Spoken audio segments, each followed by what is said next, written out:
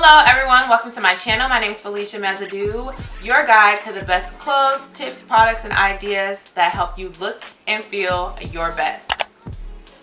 So today I have for you a video where I'm going to demonstrate to you how I blow dry my hair. I have not blow dried my hair in over, I want to say maybe eight months or so. So I was a little rusty, but um, I enjoy putting out content where I am able to show you the blow drying process just because I know for me, it took a really long time for me to understand how to blow dry my hair and I'm still trying to perfect it every single time I blow dry my hair. But because I don't consistently blow dry my hair, I sometimes have to start over from scratch. But I feel like I have some really good techniques that are going to help you to minimize the breakage. I don't really think you're exempt from breakage when you are blow drying your hair because um, it's a lot of like tension on the hair and if you're going from straight to curly you're going to receive if you're going from curly to straight you're definitely going to receive some type of heat damage or some type of damage but my goal is to help you minimize the damage. Um, and I think that I demonstrate that pretty well in this video so I definitely want to share that with you. Now this in no way shape or form is perfected or the like the best best way to do it but it's something that I've learned how to do and it's definitely helped me. So I wanted to share that all with you and let's jump into it. I'm starting off on freshly washed hair. Now I'm going to begin organizing my hair in sections to simplify the blow drying process.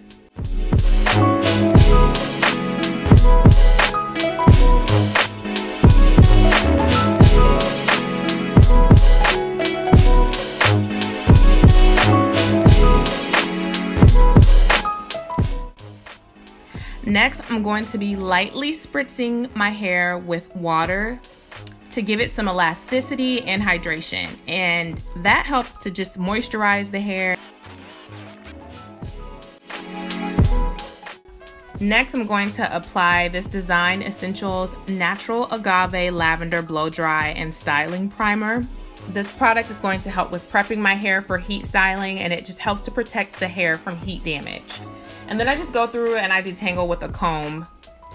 Next, I'm applying the Design Essentials Thermal Protection Cream. I find that this product really helps to soften up my texture and it helps with me being able to brush through my hair as I'm blow drying it.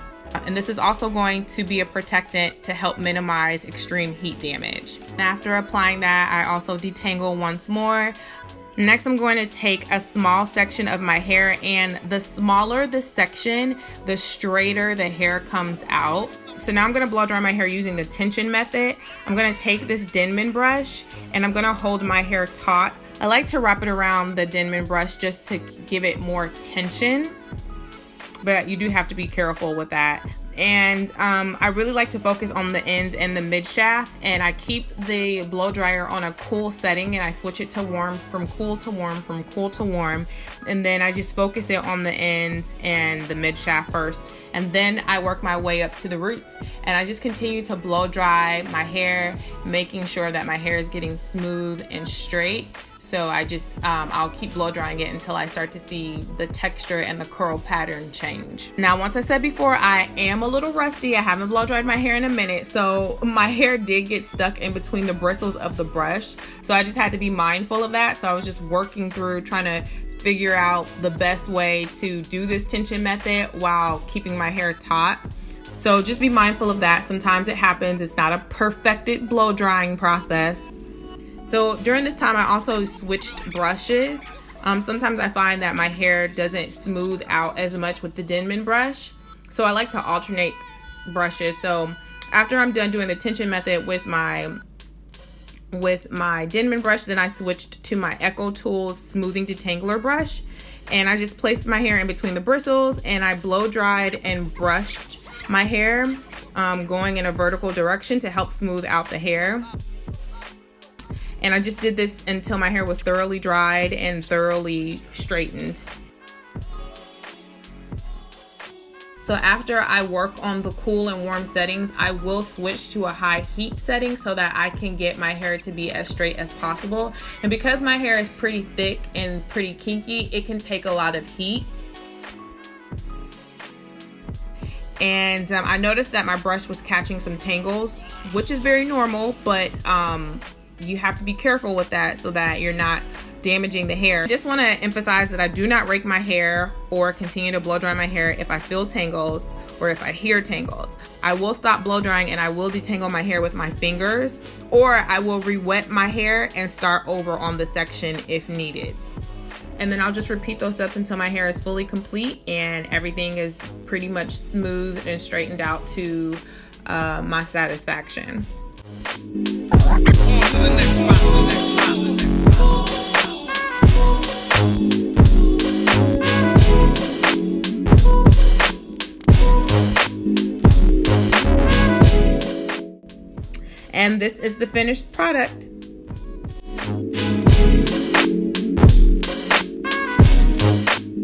Thank you so much for watching. If you're not a subscriber, please subscribe so you can see more videos like this.